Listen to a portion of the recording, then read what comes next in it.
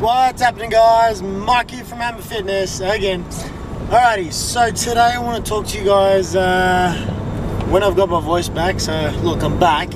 Um, I want to talk to you guys about focus, how to get extreme focus. Um, and it doesn't come easy, which is why a lot of people uh, struggle with this area. I mean, focus is going to increase a lot of areas in your life. If you're able to focus, uh, not only put stuff into action, but you're going to increase productivity and just overall happiness uh, because you'll be you're going to be able to get stuff done. All right, and there's a difference between being busy and being productive. I'm sure you can agree, and I'm sure you can resonate with that.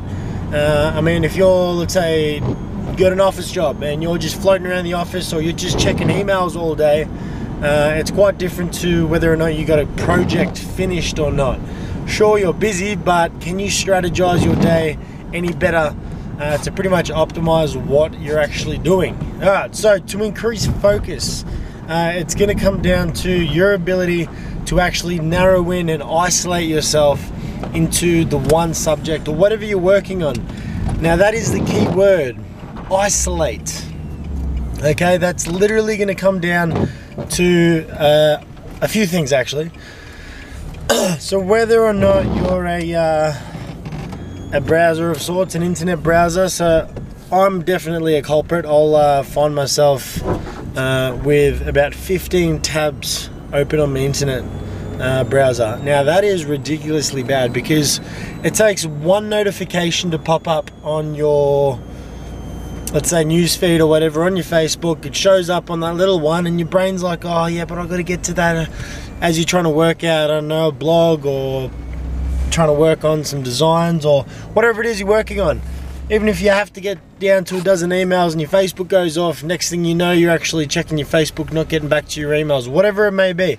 So, my tip for you guys is isolation um, and even uh, batching themes. All right, so themed work. So if you've got quite a few things to do, so for instance, I'm not very isolating at the moment. Um, this is going to come down to uh, not only focus, but if you want to learn something as well, it's actually crucial to be able to isolate uh, whatever you're trying to learn. But actually focusing, if you're doing like an essay or writing something, trying to finish a design, whatever it may be, whatever it is in your industry or your uh, line of work, it is about isolation and what that's going to do is actually build up some certain chemicals in your brain uh, that actually fire off certain uh, motor neurons in your brain uh, to help you literally narrow down on that one specific task. Okay, if uh, let's say you're let's say you're you're a writer. Okay, every time that you go to write at the desk and you've got a dozen things open on the browser your brain cannot actually focus on that line of motor neurons to focus on writing. Okay, so they're, they're kind of like, think about it as little individual muscles. All right, the more you isolate that one muscle, the stronger you're going to be able to make it.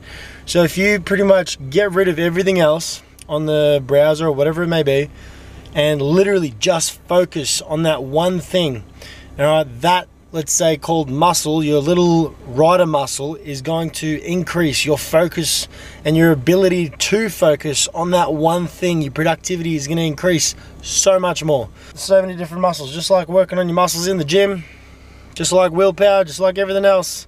You need to work on it consistently. Focus, isolation, get it done. Alright, I'll see you guys in the next video.